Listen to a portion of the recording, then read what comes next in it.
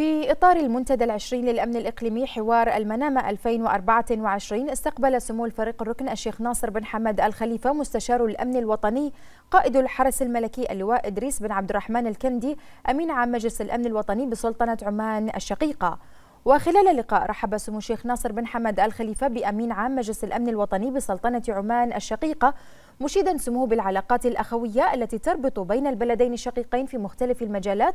وبحث سموه مع أمين عام مجلس الأمن الوطني بسلطنة عمان الشقيقة سبل تعزيز التعاون المشترك بين البلدين في إطار العلاقات الاستراتيجية التي تجمع البلدين الشقيقين.